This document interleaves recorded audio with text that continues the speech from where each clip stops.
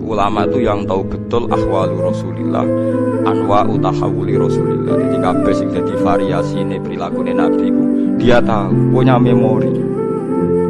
Masyur kan Nabi ngendikan aku sholat asik. Dewi Nabi aku masuk sholat terus asik. Kepengen fauti aku kepengen gawana sholat.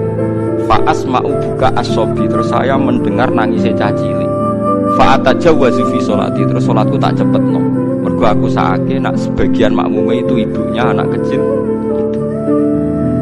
Terus Nabi kayak kok ida ida amma hadukum fal yukhafif wong nak di imam sholat itu cepet. Fa inna fihim ad-dhaif badal hajat karena di antara mereka ada orang lemah badal hajat yang punya uru